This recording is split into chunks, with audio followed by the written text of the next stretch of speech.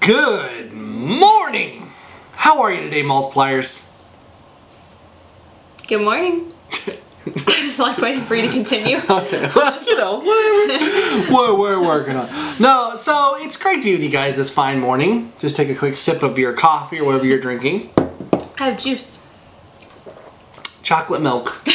Breakfast of champions. You know, um, but you know, juice, chocolate milk, mugs, what do all these things have in common? They're drinks? Well, mugs aren't. Oh. They were all purchased at Walmart. Oh, okay, yes. Today, go ahead, Judah. Today we thought it'd be fun if we did a little episode of the people of Walmart. The wonderful people of Walmart. We, Yes. The store we can't help but shop at. We can't help but be there. Who can't? Uh, but yeah, we are constantly there, and there's constantly some weird people, that is true. some wacky. So start us out, Judah, with your weird person at Walmart. Okay, well, don't look for a minute. I have to scroll back up to the top. Okay, I'm sorry. Okay, so my first one is this lovely person right here. What? I don't even know what's going on here. It's like a dread braid. Like it's all like you know, it's not dreadlocks. It's dreadlock. It may be his real hair though. Oh, I think it's definitely, most definitely his yeah, real he's hair. kind of like a lumberjack. There is no way that's not his real hair. That that's just weird though. That is pretty And crazy. like not only that, um, he's like rocking the capri rolled up uh, overalls, and we got some nice plats. So he's winning on a lot of levels. I think he's know? trying to be a lumberjack. Or maybe he is a lumberjack. But like that's like a giant root he just grew off the top of his head. Like he just like slaps people with it. I can see that. So uh, my first one, Judah, is we're all looking for love. Luckily, you and I have found it. But you never knew that Cupid lived at Walmart. Interesting. So I don't know if this guy is just you know rocking it for Valentine's Day, maybe Halloween, but I gotta say he got he gets an A for effort because we all know Cupid wears a white V-neck. Oh yeah. Uh, his bow is that small actually, uh, and it has little suctions on the end. and yeah, he has little you know things up there rocking. Oh yeah. So I mean, I am impressed by this guy. Hopefully, if you guys are looking for love, Cupid's at Walmart. He's at Walmart. Aisle three. My next one, I, it, I don't even know if this guy's real. Like at first I thought he was a mannequin, but then I was like, no, It's a fat under Slenderman. there. It's a fat Slenderman. It's a Slenderman. That's supposed to be a Slenderman, probably. I would have to say. Oh. That's got to be a fat Slenderman. that could be what his. What But I still would be very odd walking through Walmart and you see just this like yeah, like is he gonna rob a place or like? he's going through all the different everywhere you go. He follows Yeah. you and you find little notes written on the frozen section. I could see it. It's a bit sketchy. That just surprised me. I didn't know what he was trying to be. He's also in the gaming section, That's true. so it's probably like a game release or something like that. But still, very odd. Why is he so tubby? He got he ate so many children. That's probably what's happened. Uh, this next one um, is interesting in its own right, little disturbing. So I don't know if you can tell what. Oh, my thing went away. What is on this lady's leg, Judah? Can you tell what that is? Is that It's Is a that- pee. That's a pee bag. That's a catheter. She taped it to her leg. So I don't know. A? Is that normally where they are? I don't. Like, I you know I there. I feel like you'd wear pants. I that, do- Like, conceal it. I do find try to to encourage myself to know as many things about as many things I can, but uh, urinal bags, pee bags is not something of I've. I've done studies into. No, I can. I don't want to try either, quite I'm- frankly. But you gotta ask yourself the question. Uh. you're right. Would you not tape something over it? Just Um, pants. Maybe she's in a competition to win that cart. If she sits her keeps her hand out longer, she wins the cart. She's like, I gotta go pee. Ugh, that's really. But like on so many levels, that's like, what if it comes on tape? like all of a sudden it's just like you feel something wet down your leg. It's like, oh, that kid poked it and now it's popped. I mean, what happens? Where's the line? Oh, that's really nasty. Okay, so this is the next one. This is someone on a cart at Walmart, like one of the motor carts, and she has all just her whole family riding on it. Like, Absolutely. I feel like that's not what they're for. Like, and I feel like she doesn't need to be on it anymore. Probably not, but she knows one of those things. Her son's even reading a book down there. Yeah, like they're comfortable. Like They are rocking it. They didn't just hop on there for a second. Nope. No, they've been riding it. They are enjoying themselves. They're like, let's go shop around probably, it's Walmart. like their weekly trip. Like, hey guys, like- you want to go ride the motor? we go to Silver Dollar City. They're like, let's go to Walmart get on one of They those tell, their, they tell their friends, you want to go go kart race like go kart riding, and they think that's what it is. Aisle six is a tight one. We got to get through there. That is crazy. I love that the kid's reading a book. This one's just one of those questions where you have to ask what, why, and what. I mean, this guy is rocking already the weird red outfit, but to put the fur boots, the fur hat, I think that's a guy. I'm 90% sure that's a guy. I, I kind of hope it's a girl, but yeah. I'm pretty sure it's. I'm pretty sure it's a guy. like where, what, and what? Why? Why would you dress? Why would you dress like this? I'm just And hoping If you dress like this, I'm not making fun of you. Just let me know why. What drives you to want to dress like this? Maybe he's going to a costume party, but I doubt it. I think this is this guy's daily outfit. Oh my, I hope not. Okay, my next one is this lady holding this little boy in her little sling thing. Oh my goodness. Like he's like five. he's like, yeah, he's, He's not a little kid. Like why is she hearing He's him straight like up like, I mean, because he, runs off. Junior, get back over here. I'm gonna stick you on my belly. But I feel like this is like you know those people that don't want to put their kids on a leash, like with I guess Like, this, is worse. this is more demeaning. like, it's like this is like I guess at least if she doesn't, if she has to bend down, she has to go as far because he can grab it. I mean, I mean, I mean, it might be like I junior. like her back is gonna be killing her. Like I mean, he's a big boy. he's a big kid. That is a little weird. Now, speaking of strapping, I saw the next one on next to it. So, speaking of strapping kids to your back, you ever go to Walmart and think to yourself, man, I wish I would have brought my cat. But then you think to yourself, never. oh, but when I pet my cat, well, I put him down, he runs away. I pet my cat, I get hair on my hand, so I can let me strap my cat to my back. That's really funny how we both got a strapping one. This woman is first off, she's obviously she's hitting the sauce. You can see she's uh she's in a certain section of Walmart. oh yeah. But uh, but then I you, you you look here. That is a cat strapped to her back. I'm pretty sure it's a. that's a kid. Is that a kid? That's or a that baby doll. Oh, it's a baby doll. what? Okay, got weirder. it just got weirder. That's Why? not a cat. I was like, you Well, I thought it was a. See, I thought it was like. I could see what you meant. That's yeah, really fluffy. That's actually it. That is a big.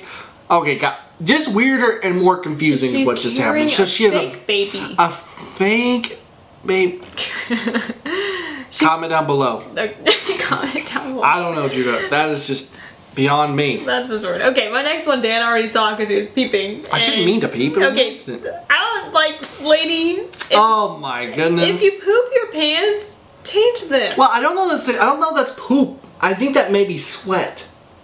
Like Well, it's poopy sweat because it's brown. yeah, it's you know it got Maybe- stuck in the okay, britches maybe- and just I'm gonna give her the benefit of the doubt, and I'm hoping they're clean. It's just stained that way because she may, maybe because she's worn them so much, they're just like 50 years old. But it's like first off, uh, there's just a lot of levels to it just one. looks like she had a mess in her pants, It does look like that. My next one also involves pants, but uh, in a slightly different way. Uh, this is another cart roller, but like literally, Is that real? I'm pretty sure it's real. It's like, what is that? Like, does she? Maybe she's stealing stuff and sticking it in there, and she's just like, everybody's. I Like some pillows. wow, wait, that's crazy. That's just insane. I don't. I don't feel like it, that would be the weight limit. Like I feel like that'd be breaking it. I feel like there's a lot of laws of gravity that are being defied. Like something is wrong. The human body is being just like it's like no, you shall not pass. You know what I mean? That kind of thing. I don't know. I'm confused. I'm bewildered. Oh my That's my goodness. next one, and this one is ironic because it's like these nastily tight in a certain area type pants, and it says "sexy" on the booty, and I just don't even know what this. I mean, I, well, maybe, maybe. She, I mean, that's probably one of those things you walk through and she's like, found these. I I don't. She probably bought them at Walmart. Actually, Probably, but it's just like, ah, why? I agree. Well, my last one here, Judah, is kind of one of your other ones. It's a poopy pants one, also. and I was just playing poop. That's I like mean, there ain't no like- like that's not sweat. It's not That's even the butt crack. It's just all down. that's just poop.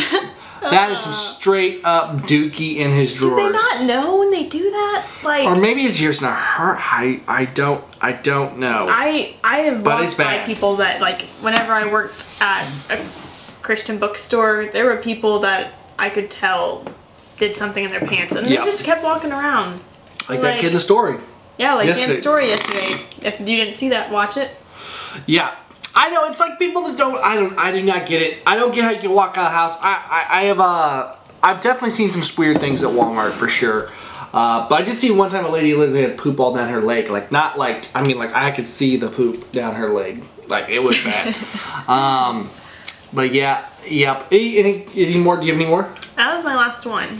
So people of Walmart, do you guys know of some funnier ones, crazier ones?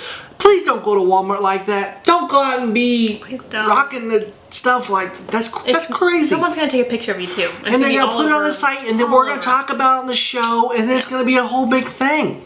Yep. And you're not gonna get any royalties from it. It's just gonna be nope. So don't do it. I, I don't know. Let us know your crazy Walmart stories. The craziest people you bumped into, because there's some crazy people out there for sure. Let them know in the comments down below. Anything else, Judah, before we roll on to the focus? Nope.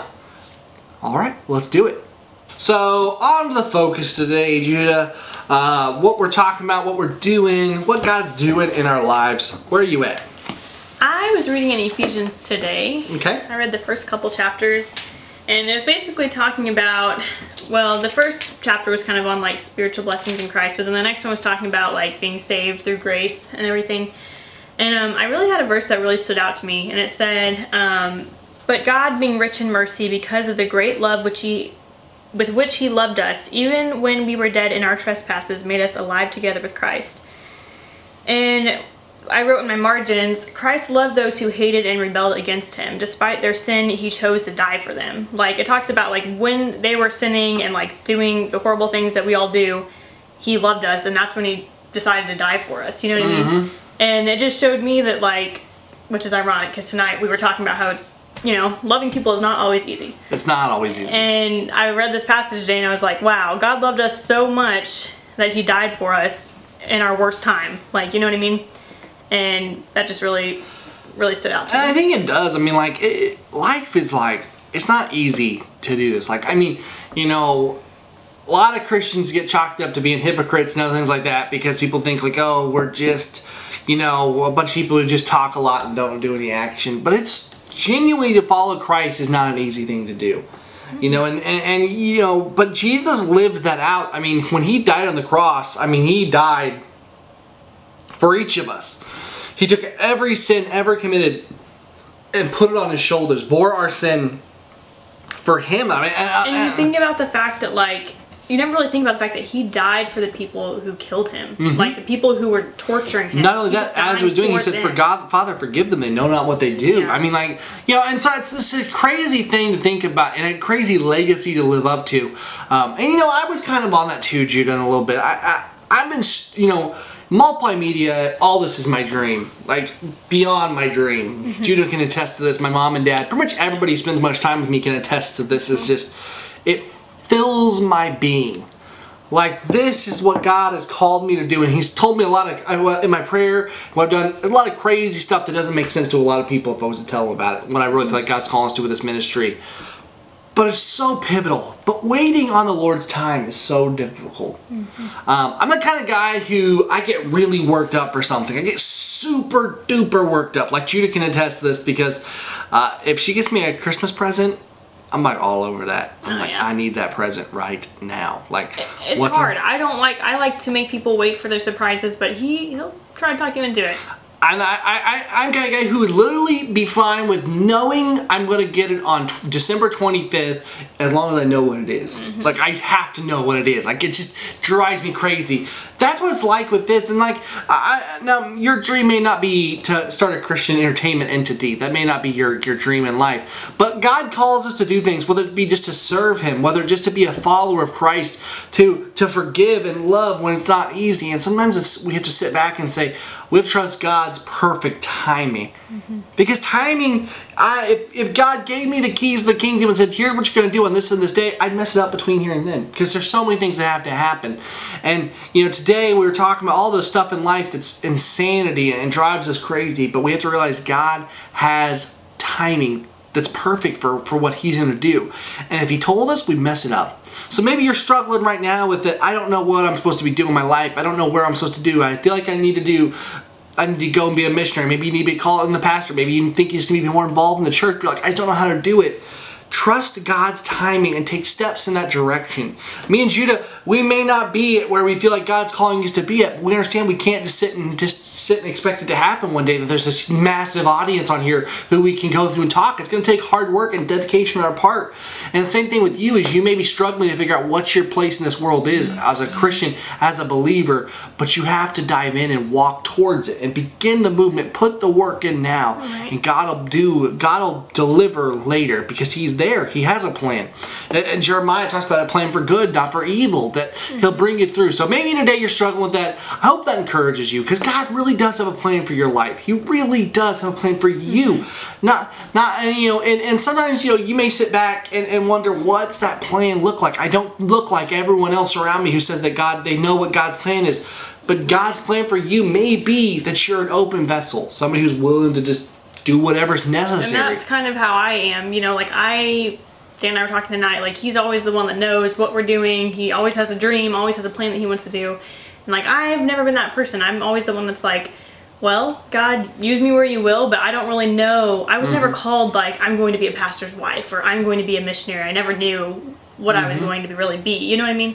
So just being open to God too, you know, He can use you in that sense if Absolutely. you're open. Um, and and like you said in Jeremiah twenty nine eleven, I think it's cool because no one ever really realizes the verse that comes after that, Jeremiah twenty nine thirteen. And I just wrote that in my Bible today, and it says, "And you will seek me and find me when you seek me with your whole heart." I think mm-hmm. that's really cool.